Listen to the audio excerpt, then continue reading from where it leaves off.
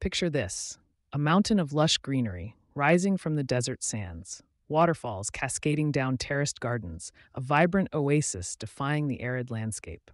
This is the legendary Hanging Gardens of Babylon, one of the seven wonders of the ancient world, shrouded in mystery. Did it really exist? Despite being described by ancient historians, no definitive archaeological evidence has ever been found. But if it did exist, how was it built? Imagine a massive stepped structure, possibly built by King Nebuchadnezzar II for his homesick wife.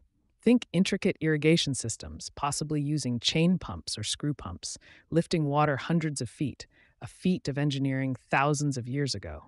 Some theories suggest it was a series of elaborate rooftop gardens, a testament to human ingenuity and the desire to create beauty in the harshest environments.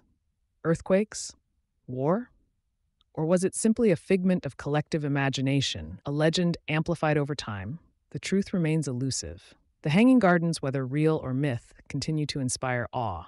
Makes you wonder what architectural marvels of our time will become the legends of the future.